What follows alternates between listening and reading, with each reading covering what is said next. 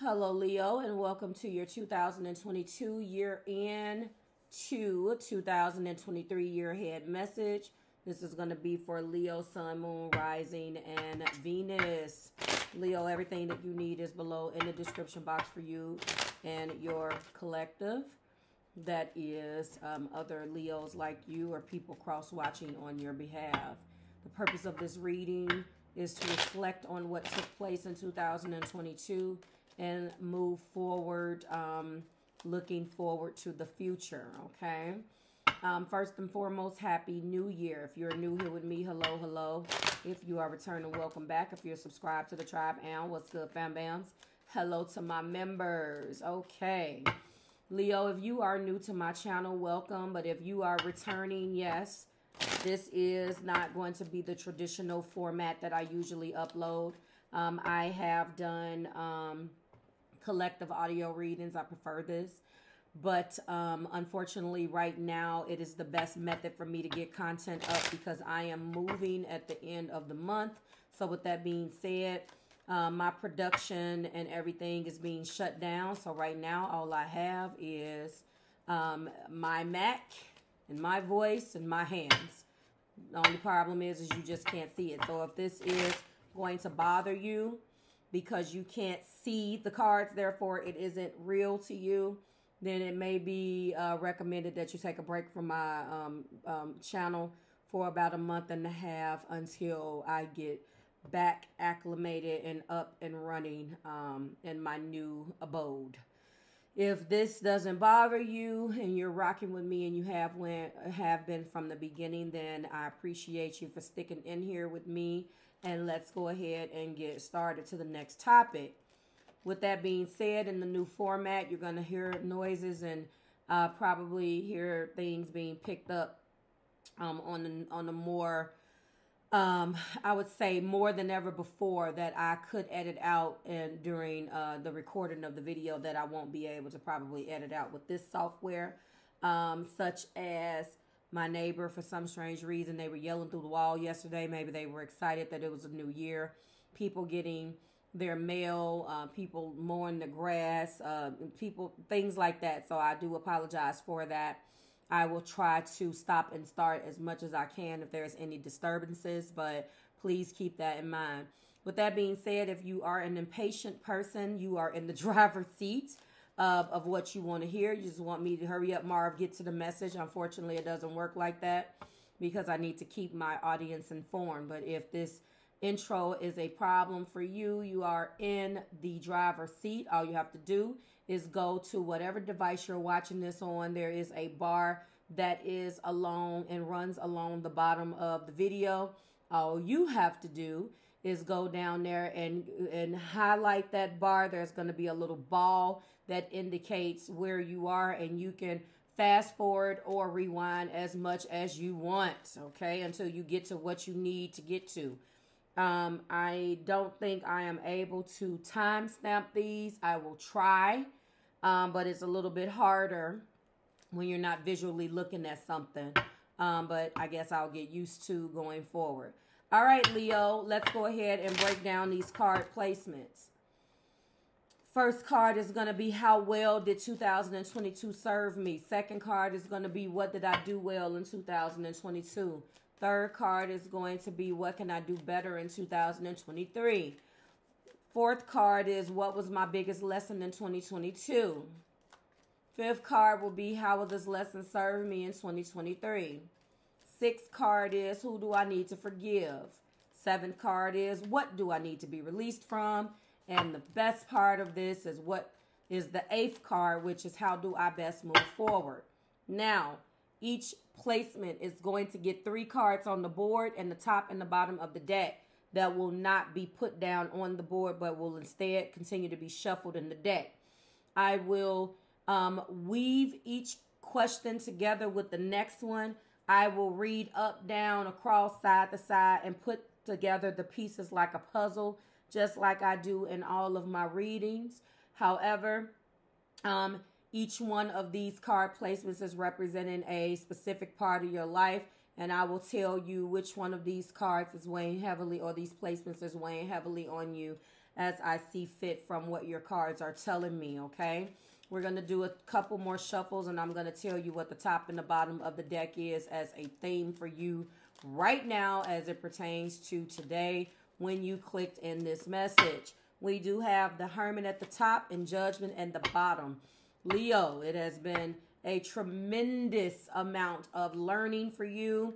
Um, what's behind you is you went through an extremely hard year with some of your judgment themes, um, such as your rebirth, your inner calling, you know, using critical faculties, taking a stand, making some hard choices, awakening to possibilities, transforming, enjoying a renewed sense of hope, making a fresh start, or seeing everything in a new light. Top of the deck shows the hermit. So now that you are recovering from that judgment, you are walking into hermit energy. So now you are searching, you're in the intro, introspection mode. And I am going to take the time right now, now that I know my intention is every time I see a hermit card, I'm going to go ahead and draw an introspection oracle. I did take these cards away. Um, from the reading because it was hard to do uh, for everybody because everyone did not need one. But because this is staring back at me at the top of your reading, I'm going to, or the top of your deck, I'm going to go ahead and get you a couple. Um, and this is just something for you to think about. People who show they care, people who care usually show that they do or people who care usually show that they care. What's the healthiest choice? And we're going to get one more. This is also receiving and giving guidance, accepting offering from wise counsel. If you wanted to, you would have. If you wanted to, you would have, okay? So introspection, oracle things, and then you can say so much with so few syllables, but silence says the most. Some of you already believe in that. So that is your cards. Let's go ahead and get into the first card placement. How well did 2022 serve Leo spirit? We do have, there was a lot of celebration. A lot of things to celebrate for.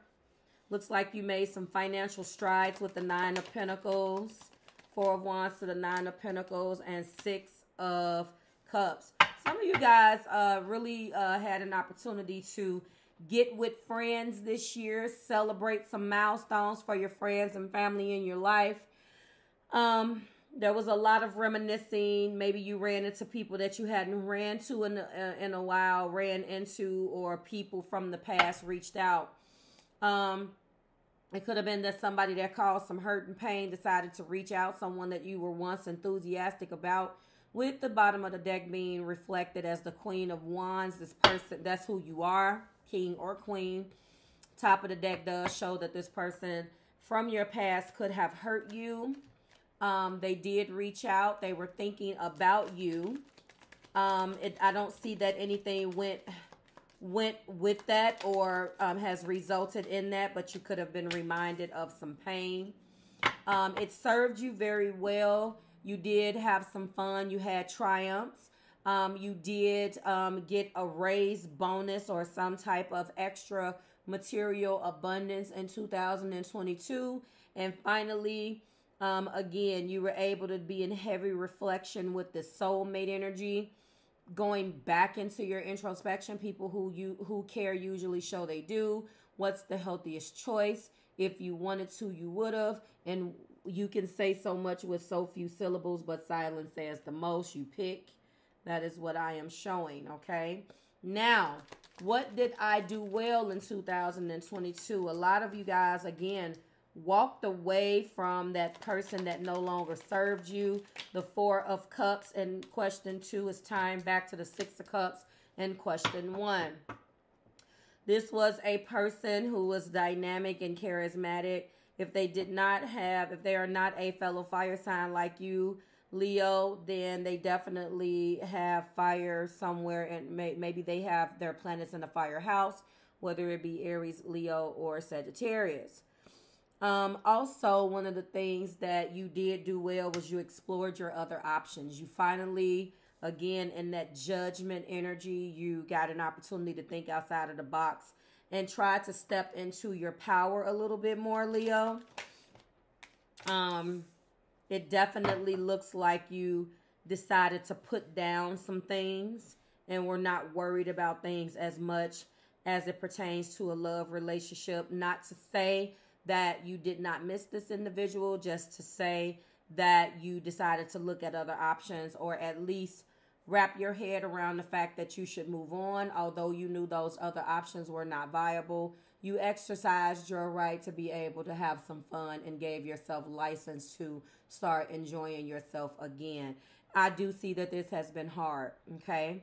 I'm definitely not saying that it has been wine and roses for you. What can you do better? The first thing you can do better is stop deceiving yourself with the Seven of Swords. Stop acting as if you have to be by yourself or this is running away from responsibility. This is shrugging something off with Seven Swords. There is a, um, you're afraid to face the music. You're afraid to face something in your life um, and you're causing a, a disservice to yourself by doing so. Justice is here indicating that you could definitely look at situations from a more truthful standpoint and balance those scales. Justice does not come to those who deceive themselves. So you're you're contributing to your own self-deception. So there's something within that that can be done better.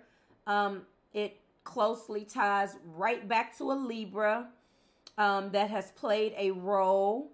Knight of Wands indicates that you were passionate about this Libra thing, or you're passionate about justice, or you're passionate about moving forward with something. But the way that you um, that that you are, um, the way in which you are going through this is not serving you because you're handling it but you're not handling this truthfully because you're deciding to be angry or keep your distance because that's how someone else feels or that's what the circumstances have brought to you to deal with but you're not over something and you can do that better. This is bringing justice to yourself. This is self-deceiving yourself. What can you do better? You can do those areas better.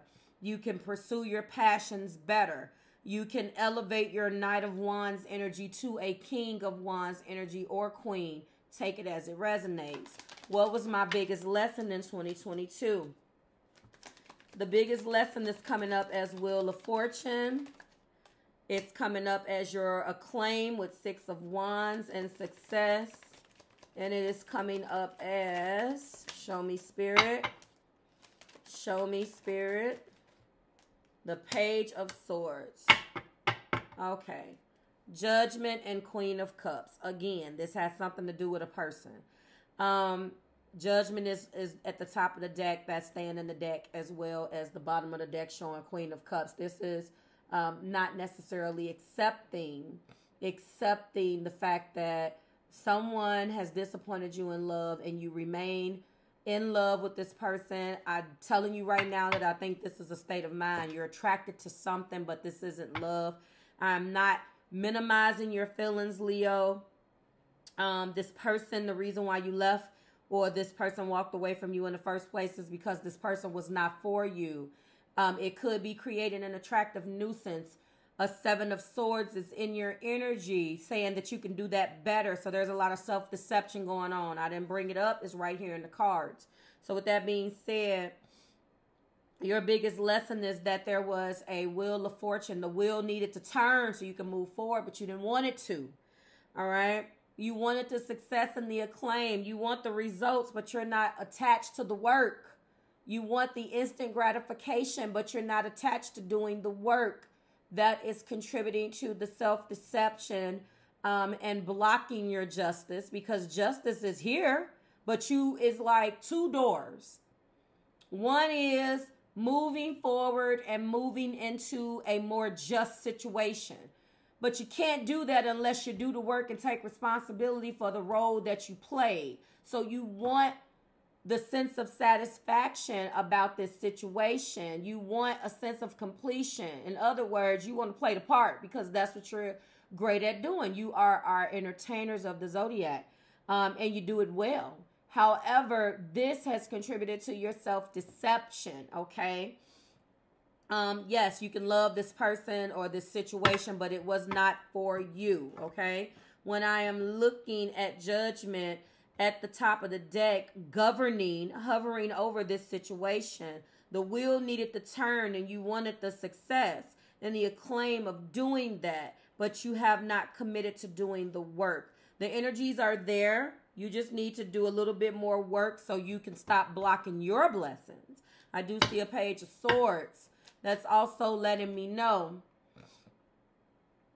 that further options and I'm sorry, obstacles, uh, oh, thank you, Spirit, um, and co- continue to come in. And they're going to continue to come in because instead of, again, doing the work, um, you're not learning the lesson from the obstacles that you were faced with. Moving on into that biggest lesson, how will this lesson serve me in 2023? Again, why I thank Spirit was that the Two of Swords and the Lovers came out. You didn't handle the situation. You just blocked your emotions. Your ego is is working. You just blocked your emotions and you're defending your actions with seven uh, pentacles. I'm sorry, seven wands. The seven of wands is here in the lovers. You want this person although you know they're not good for you. And this this needs to you you refuse to do the work and really actively let them go. And that is again contributing to self-destruction and self-deception. Top of the deck is showing 10 pentacles. Bottom of the deck is showing eight swords. You are blocking your emotions out. You are blindfolded. There is a finality in letting this go. And you just don't want to feel that shit you want it to be easy. It's not going to be easy. You're deceiving yourself, and you got so many beautiful energies here. Okay. So the lesson is not going to serve you in 2023 unless you let it go. You have not accepted this lover situation yet. Okay. Some of you guys need to talk to this person and speak your truth. Some of you guys, if that's what you need for closure. Okay. And this is probably, I'm surprised, I'm going to call it right now. One, two, three, four, five. As we move into the sixth um, card placement, which is who do I need to forgive?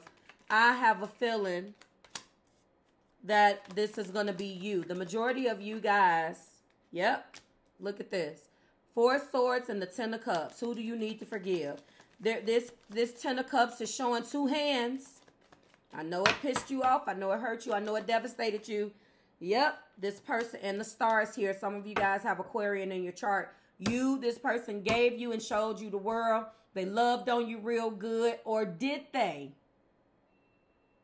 Did they? Okay. This is a bond, a vow that was broken. Someone promised you the world and under delivered, and you need to forgive yourself. Hope, healing, and optimism is here. You still want this Ten of Cups with this person. This person does have some water in their chart, Cancer, Pisces, or Scorpio, and you could have the same thing. You want this person. You still want this, and you need to forgive yourself for wanting it. You don't, you feel stupid for wanting it, but you still want it. Okay? Listen, if you do not get out of your own way, your person that is around you, beautiful energy, but every one of these is blocked by something that you refuse to do. For example, placement three, seven of swords, but justice is there. How can justice move through a self some self deception? Placement four, the page of uh, page of swords is here, and the wheel of fortune, and the six of wands. You are you're right at the cusp of the wheel turning, but each obstacle that you that comes forward, you fall right back into that, which leads you into card placement one, two, three, four, and five with the two of swords, which goes into the four of swords, which is in this sixth placement. Now Who do, what do I need to be released from? You need to be released from a page of cups. You need to be released from an ace of pentacles. And you need to be released from, show me spirit, what just tried to come out, something did. From the Hierophant. You need to be released from waiting on an apology, waiting on this person to call and get their damn mind right, and waiting on and, and be released from waiting on an opportunity for a new start and a commitment with this person. If you are waiting on a marriage, is not going to happen. This is not to say that this is negative. This is the reason why your newness is not coming in. Top of the deck shows that there is 10 wands. You have to release the burdens that come along with a missed opportunity and commitment and this person stepping up into their hierophant and waiting for a damn apology that you know damn well, even if they did apologize, it's not going to be enough. It's not going to be enough. You're fixed fire. I understand it. I am fixed earth in my love sectors of my birth chart, Leo. I talk your language when it comes down to not being able to let go of feeling stuck when someone has done you wrong. Because the way that a fixed energy approaches this is they shouldn't have effed up in the first place. However, that is a self deceptive thought because people are people and we all make mistakes. You release yourself from this based upon what you do with it next. You cannot hold on to it. This person disappointed you, and some of you guys are still messing with this damn person. Let them go. That's easier said than done, and I don't want to open up the damn uh, year judging because that's not what this is. I'm gonna tell you, it's extremely hard.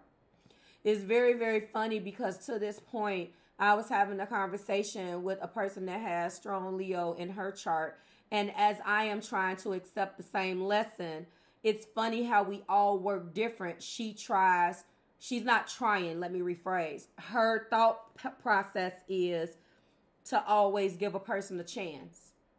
And I agree with that. That's what makes her personality beautiful. But there is a difference um, um fixed community in giving somebody a chance and just holding on because you don't want to do the damn work. Now I realize that our moons are different and we're made up different. I'm going to do the work because a person that has shown me who they are, I tend to believe it.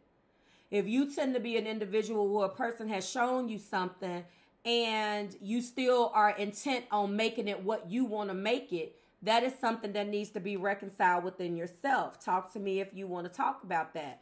I know a Leo moon.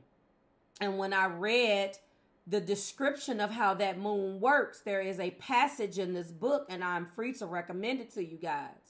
And I believe that this is also a detriment in the suns and the moons. And I have Leo in the fifth house, but there's no there's no planets in there. Um, and that is an outer planet. So all of you guys that's like, see, you got Leo in your chart too. Understand how birth charts work. We all have it in our charts. My point is, is that one of the things that a Leo moon specifically will do is even when they are told no by their lover, they will continue to pursue that until they make it what they want to make it. And that's when shit falls apart. So pay attention to who's showing you who they are and don't make it what you want it to be. Accept what it is. And if you still want to stay, then you know what it is. And it's not to say that you can't get mad about it, but it's to say that that's what you chose. Moving on. All right, and last but not least, how do I best move forward? You see what I'm saying? So for those of you, I have two predictions. Um, for those of you who are going to stay and for those of you who are going to leave. And I'm going to um, tie this back to your introspection oracles because your the top of your deck, of course, was a hermit. And when I see a hermit, I'm supposed to pull one of these introspection oracles. So, how do you best move forward? You move forward. We have a nine of cups. We have an eight of pentacles. We have a ten of pentacles. Okay. Top of the deck is a seven of pentacles and the king of swords. All right. Some of you guys and a good majority of you, what do we have on the top? We have 10. 10% of you or better. We have a 9, we have an 8. I'm not adding all of that up. I'm going to probably say that a good half of you it's looking like is probably going to stay with this person. And if you stay with this individual, chasing them, and even if you're not with them, okay, hold on. The people that are still with this person, um, you're only uh, digging your own grave, figuratively speaking, not literally, mentally. You're going to have some type of damn mental breakdown because you're not getting what you want out of this. Um, and you're going to continue to, you know, be bothered with an individual who's not serving you and then be pissed off at everybody else because you don't know how to move on. That's not healthy. The other 50% of you who are not with this person physically but still continues to pine after them and you refuse to move forward, um, you're not doing anything, then you are probably going to be the ones that's at the very, very short end of the stick because – at the end of the day, Leo, you're not getting anything out of this. You're just sitting around putting your life on hold for this notion. And it looks crazy, so you hide it. And I understand. You it looks crazy as hell because it's just like you secretly want this and you may be living the whole life, friends, family, kicking it, but you're not happy. I don't see a 7 of cups here. Yes, I do. I'm lying. Here there it is. So going back to what did I do well? You did keep it moving. And you may have several options, several lovers, but you're not happy. Your sexual connections with people do not make you happy. It's just a way of validation. And those that don't have the sexual connections chase the money. And trust me, as a person who has a Capricorn moon and strong earth in her chart, that money don't don't fill them voids either. The only thing that's going to fill the void is accepting this and dealing with the pain so you can allow this justice, this wheel of fortune, the lovers, the star, and new love to come in properly. All right, let's let's get it. Let's go ahead and break down again. King of Swords and the Seven of Pentacles. There's a strong truth. A strong, hard truth that needs to be looked at. Let's go ahead and break down your majors. In uh, section one, we have nothing. Section two, we have nothing. Um, card placement three, we have justice. Four, the wheel of fortune. Five, the lovers. Um, six, the star. Seven, the Hierophant. Eight, nothing. So you got a good mix. Remember, we have Wheel of Fortune, Justice, the Lovers, the Star, and the Hierophant. Look at that abundance. Wheel of Fortune, the lovers, the star, justice, the Hierophant, all about someone stepping up, your wheel turning, abundance coming in, but not if you're stuck in all of these swords. Two of swords, seven of swords, four of swords, page of swords. You're in your head too much. Trying to overanalyze this and no matter how many times you replay it back in your head, this person effed up and they're not good for you. So if you don't take it from me, take it from your cards. In the meantime, the rest of your year is looking good, but it's looking like it is plagued with the same old, same old mental anguish that you left in 2022. So you're going to perpetuate the same damn problem in 2023 introspection oracles. If you wanted to, you would have. You can say so much with few syllables, but silence says the most. What's the healthiest choice? People who care usually show they care. Tie that back to this reading. Like, share, subscribe to the Marvelous Tribe. No, it was not. And it was not designed to be wine and roses. It's general energy, and your energy pull that down and and that's where we're going to end it. If you're interested in personals you know where to find me. Thank you leo. I'm going to continue to commentate the way that i see fit. I hope and pray that a lot of you guys let this past love go. You got so much beautiful abundance but you won't get out of your way to allow it to come in. You just won't. I'm pray for you guys and you know just like all of us we all have our crosses to bear Don't allow your ego to make this feel like you're being picked on. All right? This is what Spirit wanted you to know. Thank you so much. I'll see out. Well, I won't see you in the next one, but you'll hear me in the next one. Bye, guys.